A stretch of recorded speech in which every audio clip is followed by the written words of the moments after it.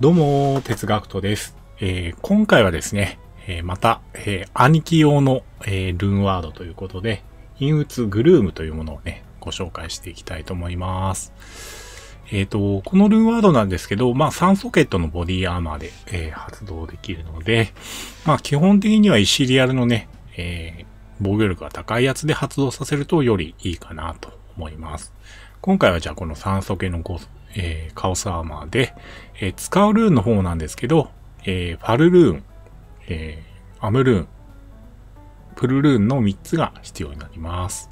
じゃあ、早速発動させていきたいと思います。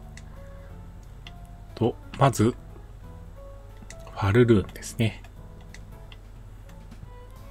アムルーン、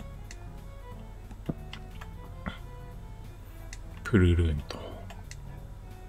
はい、陰鬱ですね。発動できました。こちら攻撃を受けると15%の確率で視力減退レベル3を発動すると。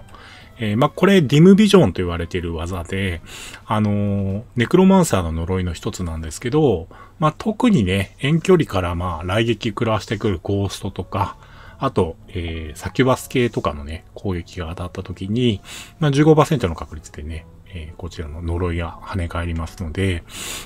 ディムビジョン、えー、視力減退がかかっている敵は、しばらくね、そこから、えー、遠距離攻撃ができなくなるので、えー、結構、え、効果高いかなと思います。兄貴がやっぱり突進していって、まあ、え、連続でね、遠距離攻撃を受けて、え、溶けちゃうってことよくあると思うんで、まあ、これは、それをこれをつけておくと、まあ結構ね、しにくくなるかなと思います。そしてヒットリカバリー速度プラス10%。そして防御力を強化。えー、今回は225%なんですけど、えー、ここの部分がね、マックスで260入りますので、えー、まあ前回ご紹介したね、あの、こちらの、えストーン、石と、えまあどちらがいいかなっていう感じですね。ストーンはあくまでも、あの遠距離攻撃に対するブロックとかそういうのはついてるんですけど、えー、こういったね、ディムビジョンみたいな反撃系の技はないので、あとまあ耐性もね、若干こっちの方が稼げるっていうところが結構大きいかなと思います。で、えー、筋力プラス10と全体姿勢が、えー、プラス45されると。そして凍結の効果時間短縮50と。これもね、結構、えー、傭兵にとっては大きいかなと。して受けたダメージの5%をマナに変換。ただし、まあ、明かりの範囲はマイナス3になるよっていう効果ですね。結構ね、こちらの、えー、鎧も、えー、強くて、まあ、傭兵にね、えー、つけといてあげると、えー、まあ、反撃時にね、えー、うん、発動してくれるので、じゃあちょっと早速ね、えー、まあ、み、皆さん苦手というか、私もね、あんまり好きではない、ワールドストーン要塞の、えー、第2回に行って、ちょっと効果を見てみますかね。はい。あ、今回あれがいるな。ちょっと待って。あ、ちょうど明治がいるんで、見れるかもしれないですね。はい。あ、今、ディムビジョンが、多分相手に対してかかるという感じですね。あ、はい。こんな感じで、えー、ディムビジョンが発動すると、こう丸がかかってね、一切、えー、相手が遠距離攻撃してこなくなるので、まあヘルだとね、ちょっとこう効果が下がって、えー、まあ3、3秒ぐらいしかね、持たないんですけども、やっぱりね、遠距離の攻撃が一旦止まるっていうのは結構大きくて、で兄貴の方にね、ライフ髄の、えー、ものがついてれば、こちらが何もしなくてもね、こんな感じで、えー、兄貴が、まあ、